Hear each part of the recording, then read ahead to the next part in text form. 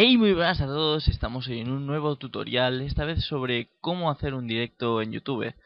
Y para hacerlo, la primera regla básica es tener el partner con alguna compañía. En mi caso, tengo con RPM. Eh, así que cuando te, cuando te dan el partner, después de hacer todos los pasos, etcétera, etcétera, te dan, te activan esta casilla aquí en gestor de vídeos, que es eventos en directo.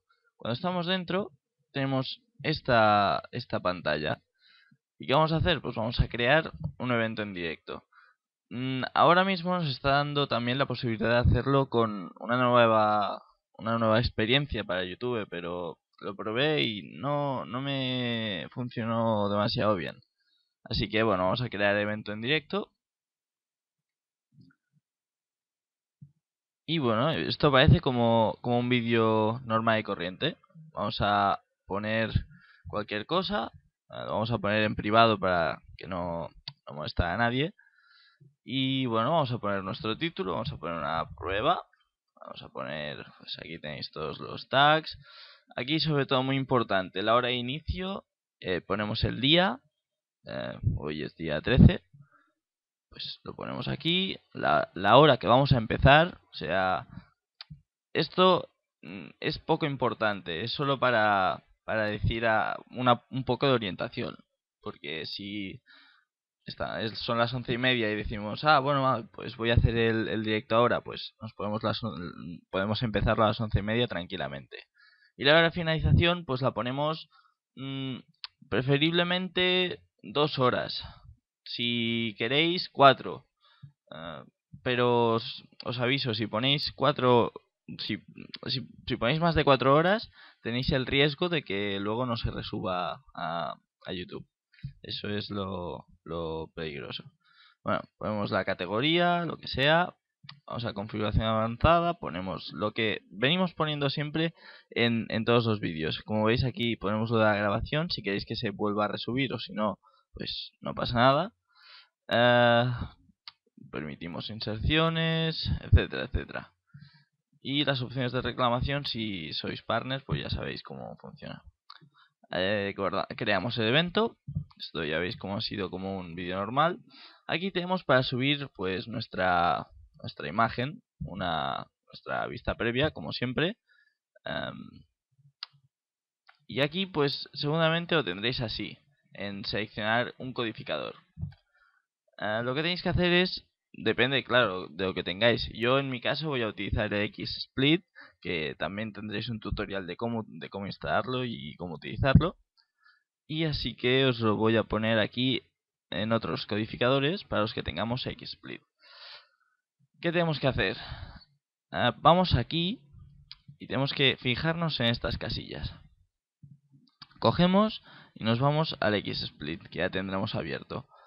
Nos vamos a Tools, General Settings y aquí vamos a marcar todas estas casillas. Esta si queréis marcarla o no, da igual porque si no, si no la tenemos desmarcada lo que hace es que se vea el propio XSplit durante el directo. En mi caso voy a dejar nuestro micro, si queremos usar el sonido, el retraso, esto prácticamente no hace falta ni, ni, tocarlo. Aquí donde se guardan automáticamente los, los vídeos que hemos hecho, uh, las resoluciones de los vídeos que queramos, depende de nuestro ordenador, y las teclas rápidas que yo no utilizo ninguna. Y aquí tenemos nuestros perfiles. Para hacer un perfil, pues muy fácil. Vamos a Add y aquí ponemos si es de, de, de YouTube, YouTube Esperamos que se cargue. Si, si, no es de YouTube, nos vamos aquí y nos, de, y nos seleccionamos el que el que sea el nuestro. Por ejemplo, yo tengo también uno de, de Justin.tv o Twitch y es como te lo instala, digamos así, es como un plugin. Así que bueno, para el de YouTube eh, es, si no me equivoco, el Custom RTMP pero bueno Vale, le damos a le damos a edit, que sería cómo hacerlo. Entonces aquí ponemos el nombre de nuestro canal, de nuestro canal. El que tengamos aquí en, en lo que sería el, el user. Aquí, ¿vale? Entonces, aquí en, el que, en lo que pone rtmp url, nos vamos aquí y es este, el URL del servidor principal. Lo que hacemos es copiar y es, es un es una casilla bastante larga, así que vamos a tener que borrarlo todo a mano y le damos a pegar. Esto es diferente en cada directo, así que no os olvidéis de, hacer esto porque si no, no concordarían los, los, los, enlaces y no, no serviría, básicamente. Entonces, eh, el stream name es lo que nos pone aquí, el nombre de la emisión, que también siempre es diferente. ¿Y qué hacemos? Pues lo copiamos y lo insertamos aquí. En pegar, vale. Y aquí ya lo demás, aquí ya, ya está hecho. Entonces en máximo bitrate tenéis que poner vuestra, vuestra capacidad de subida. O sea, si tenéis una mega, pues, eh, pues no hagáis directos, porque lo siento, pero va, va a ir mal. Yo no sé cuántas tengo, pero he ido probando configuraciones, que es lo que os voy a recomendar, hacerlas, probad cosas, a ver qué tal os van. Y me, me funciona bien en 1000.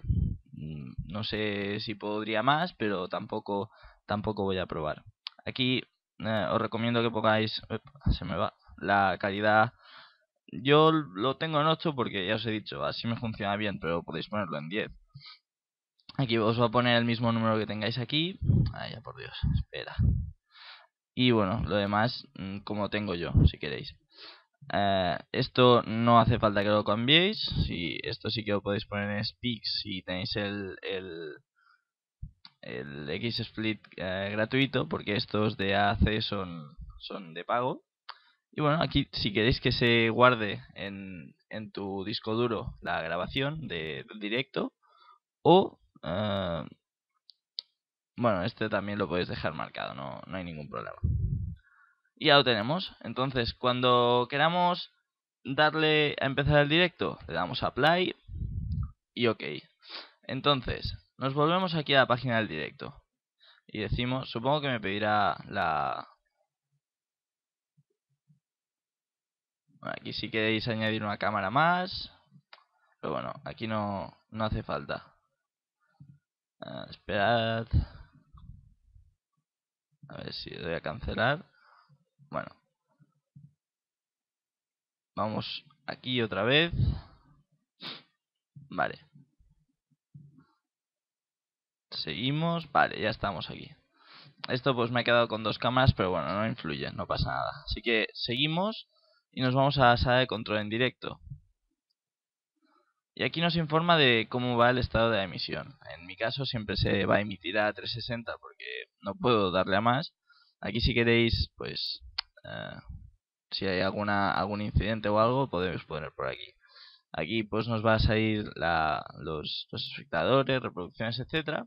Y bueno y cuando queramos empezar primero hay que ir a ver una prueba. Vamos y damos a el nombre de nuestro canal en broadcast. Y ahora mismo cuando se ponga aquí en rojo estamos ya transmitiendo. Nos vamos a eh, si no me equivoco, es la configuración de ingestión. Y aquí nos tendría que salir en la, vista previa, sería. Va a tardar un poquito. bueno, ¿veis? Ya, me, ya, me oigo. y, y así de bien funciona. O sea, como tenemos la caída 360, eso no se puede cambiar. En mi caso, ya os he dicho. Y bueno, vamos a salir de control en directo. Y cuando todo nos vaya perfecto, le damos a iniciar emisión y damos a aceptar ya estaremos emitiendo en directo. Como habéis visto, nos vamos, nos, nos dirige a nuestro canal para que visitemos la, la emisión en directo. Eh, mm, claro, necesitas el link, evidentemente. Nos vamos primero. Eh, ahora, aquí. Y bueno, pues ahora estaremos, estaremos haciendo el, el streaming.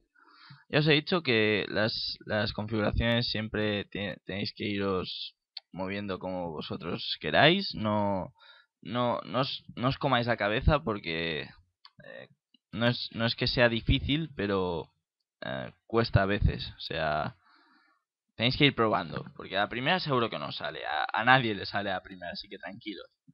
Y bueno, nada, espero que os haya servido este tutorial. Si queréis, lo voy a hacer con también la configuración de Twitch para la gente que no tenga el, el, el partner con, con alguna compañía. Y bueno, espero que os haya gustado y nos vemos en el siguiente vídeo. Hasta la próxima, adiós.